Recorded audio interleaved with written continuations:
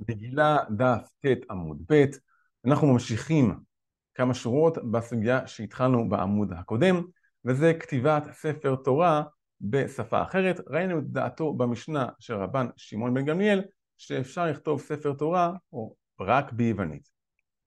ונראה את הגמרא בפנים. אמר רבי אבאו, אנחנו כמה שורות לפני המשנה, אמר רבי אבאו, אמר, רבי יוחנן, הלכה כרבן שמעון גמליאל, ככה הלכה. ואמר רבי יוחנן, מה הייתה אמרת? רבן שמעון גמליאל, אמר קרא, יפת אלוקים ליפת. לנוח היו שלושה ילדים, יפת, ויוון הוא אחד מהילדים של יפת.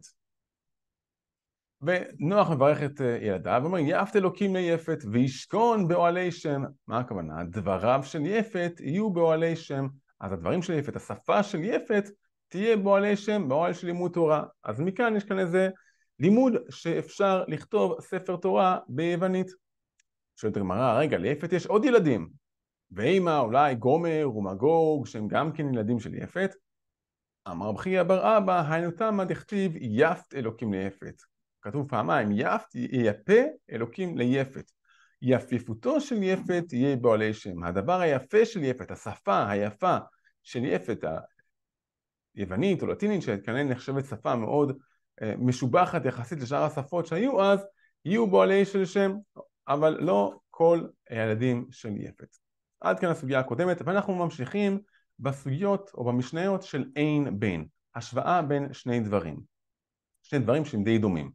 אין, כהן גדול, אז אפשר להפוך אותו לכהן גדול או בשמן המשחה, וכשלא היה את שמן המשחה, אז הילד בבית שני, כשכבר אין, או אפילו כבר בסוף בית ראשון, כבר אין את שמן המשחה, אז אפשר להפוך אותו לכהן גדול על ידי זה שהוא מרובה בגדים, הוא לובש את התוספת בגדים המיוחדים שיש לכהן גדול. כהן רגיל לובש ארבעה בגדים, לכהן גדול יש שמונה בגדי כהונה, ועל ידי הריבוי בגדים האלה הוא נהיה כהן גדול.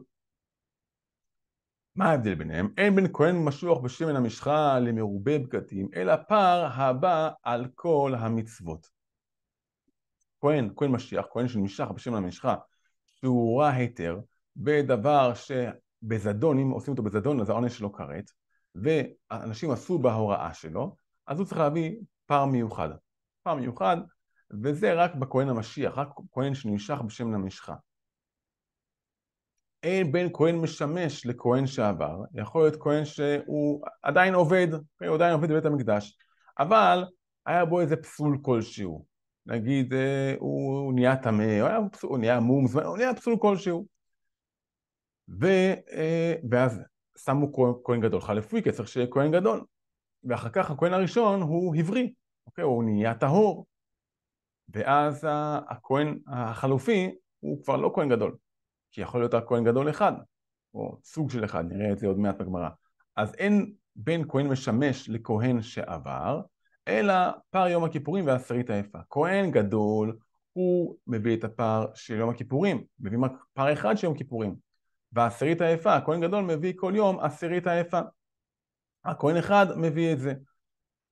אנחנו רואים מכאן שהכהן, מי שהיה כהן חלופי, נשאר עדיין במעמד של כהן גדול. הוא עדיין יכול ללבוש בגדי כהונה של כהן גדול, אנחנו גם כן נראה את זה יותר בגמרא.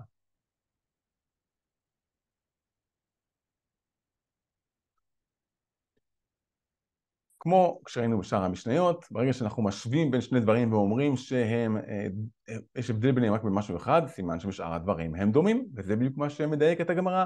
הלעניין פער יום הכיפורים, הפער שמביאים ביום כיפור, והעשירית היפה, שכהן מביא עשירית היפה, מנחה, או כל יום הוא מביא את המנחה הזאת, קורבן מיוחד מהצומח בגודל של עשירית היפה, זה וזה שווים. גם כהן משוח בשמן המשחה וגם כהן מרובה בגדים, שניהם שווים, שניהם מביאים את זה. מתניתין המשנה שלנו זה לא כרבי מאיר. תהי רבי מאיר, התניא. מרובה בגדים מביא פר הבא על כל המצוות. דברי רבי מאיר. במשנה שלנו אנחנו אמרנו שמרובה בגדים לא מביא פר על כל המצוות, פר הבא על כל המצוות, כאילו לפי רבי מאיר, מרובה בגדים כן מביא פר הבא על כל המצוות. החכמים אומרים, כמו המשנה שלנו, אינו מביא. טוב, אז אנחנו רואים שהמשנה שלנו לא כמו רבי מאיר. מה הייתה מדי רבי מאיר? דתניא, שמה בפרשה של אה, פער שבעל כל המצוות, כמו שאנחנו אמרנו, שאם כהן הורה בשוגג, בטעות הוא אמר שמשהו מותר והעבירה שלו במזיד, העונש יהיה כרת, אז כשיתברר שהוא טעה, אז הוא צריך להביא פער מיוחד, אז הפסוק שלו אומר, יש לנו את המילה משיח, דתניא משיח, אין לי אלא משיח בשמן המשחה, אולי נקרא את כל הפסוק בפנים. הפסוק אומר, אם הכהן המשיח יחטא לאשמת העם והקריב לחטאתו אשר חטא, פער בן בקר תמים להשם חטאת. אז יש לנו כהן, מדובר כאן כהן משיח, שדווקא שנמשך בשמן המשחה. אין לי אלא משוח בשמן המשחה. מרובה בגדים מניין, מאיפה יודעים שגם כן מרובה בגדים גם כן מביא את זה? תלמוד לומר המשיח, המילה, האות ה' היא מוסיפה. חכמים לא, לא ידרשו את האות ה'. בכל מקרה, אז זה הדעה של רבי מאיר. במה יוקימנה, איך העמדנו את המשנה שלנו? זה לא כרבי מאיר, המשנה שלנו לא כמו רבי מאיר, כמו שהרגע אמרנו. עם הסיפא, בואו נסתכל בסוף של המשנה, אין בין כהן משמש לכהן שעבר, כהן שעכשיו בפועל הוא כהן גדול, לכהן שהיה בעבר כהן גדול, גם אם זמני, מה ההבדלים היחידים ביניהם? אלא פער יום הכיפורים והעשירית היפה.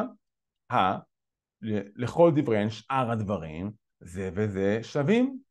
עתן לרבי מאיר, זה יכול להיות רק רבי מאיר, דתניא, יש לנו ברייתא, אירע בו פסול, הכהן הגדול היה איזה פסול כלשהו, ומינו כהן אחר תחתיו.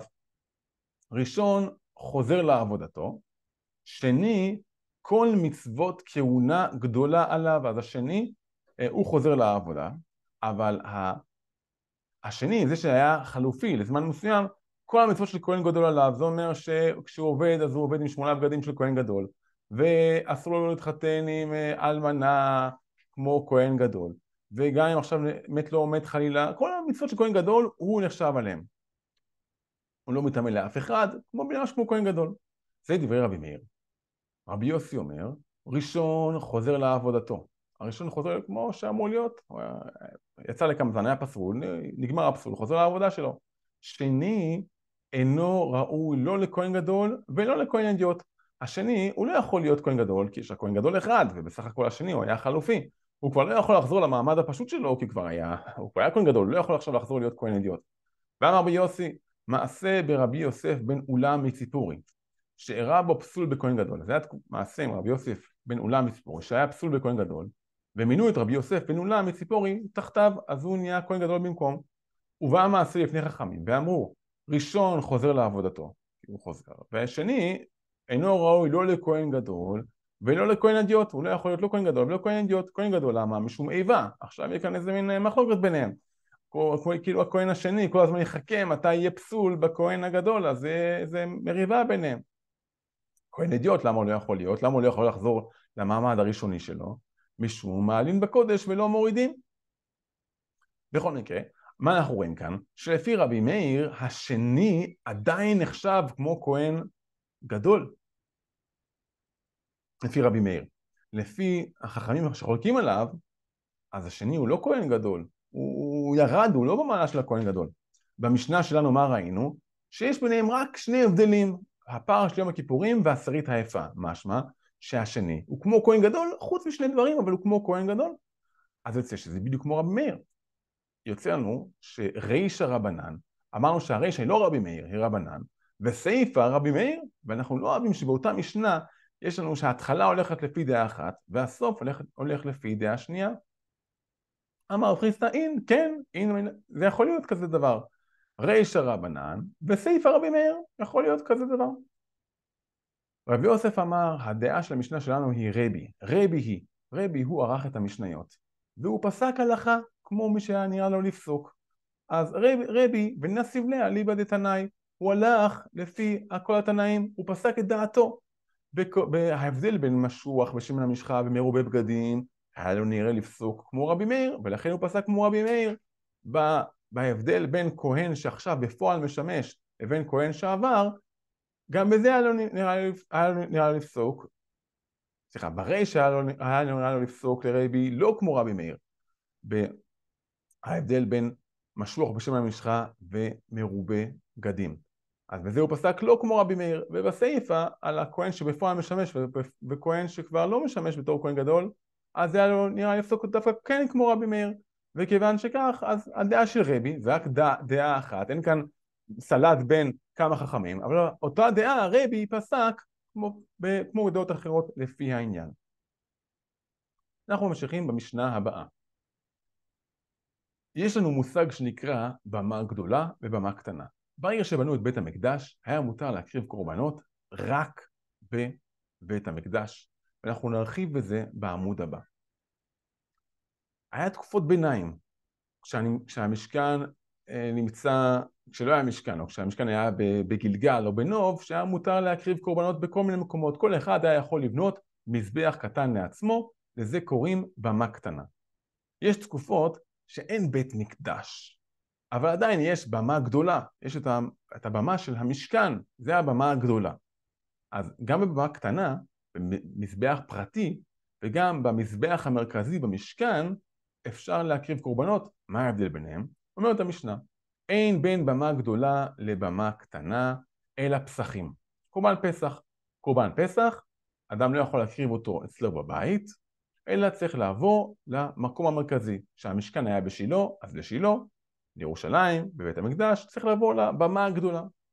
זה הכלל. כל דבר שהוא נידר ונידב, שאדם לא חייב להביא אותו, אבל הוא הביא אותו בתור נדר או בתור נדבה, הזכרנו את המושגים האלה בעבר, אותו קרב בבמה, בבמה קטנה. וכל שאינו לא נידר ולא נידב, אינו קרב בבמה. דבר שלא נידב ולא נידב, כמו, אה, כמו קורבן תמיד. הקדוש ברוך הוא אומר, תביאו קורבן תמיד, זה לא עניין של נדר או נדבה. זה חוב של הציבור להביא אותו, תמיד קורבן תמיד. קורבן חטאת, זה לא עניין של נדבה. אותו צריך להביא בבמה גדולה. שואלת הגמרא, מה ההבדל היחיד בין במה גדולה לבמה קטנה? הגמרא שואלת על ההתחלה של המשנה, זה קורבן פסחים? פסחים ותו לא? יש הרבה הבדלים ביניהם. אנחנו רק אמרנו בספר של המשנה, שכל דבר שהוא לא נדר ולא נדבה, אי אפשר להביא אותו בבמה קטנה, חייבים להביא אותו בבמה גדולה. אוקיי, אז למה המשנה בהתחלה אומרת שההבדל היחיד זה פסחים? פסחים ותו לא? עונה הגמרא, אימה כאין פסחים, משהו שהוא כמו קורבן פסח. הכוונה היא כל חובה שקבוע לה זמן כמו קורבן פסח. כל חובה שקבוע לה זמן כמו קורבן פסח, אותה אפשר להביא רק בבמה גדולה. ולא רק פסח, כמו קורבן תמיד, כמו המוספים של החגים, אותם אפשר להביא רק בבמה גדולה. מאני, מי המשנה שלנו? רבי שמעון היא. דתניא, רבי שמעון אומר, אף ציבור לא הקריבו אלא פסחים וחובות שקבוע להם זמן. כמו שאמרנו, כמו למשל קורבן תמיד או שאר הקורבנות של שבת וכולי, שזה בזמן קבוע. אבל חובות, יש חובות ציבוריות שאין להם זמן קבוע, נראה אותם עוד רגע, אבל חובות שאין קבוע להם זמן, הכה והכה לא קרב. לא הקריבו אותם לא בבמה גדולה, לא בבמה קטנה. הקריבו אותם רק במשכן של משה רבנו, ואחר כך בבית המקדש. זה קורבנות מיוחדים, הם צריכים משהו רציני יותר. מה הדוגמאות האלה של משהו שחובה שלא קבוע לזמן? למשל דוגמה אחת שרש"י מביא זה פר העלם דבר של ציבור. כשכל הציבור חוטא או כשרוב הציבור חוטא, יש איזה קורבן מיוחד שבית דין מביאים אותו, קוראים לזה פר העלם דבר של ציבור, שאותו אפשר להביא רק כשיש לנו מקום באמת ממוסד, כמו למשל בית המקדש, ולא במה גדולה שעם כל זה שהיא במה גדולה, היא עדיין לא ממוסדת כמו אה, בית המקדש. עד כאן דף ח', אנחנו בעזרת השם בפעם הבאה נמשיך במשנה בסוף דף ט' עמוד ב'.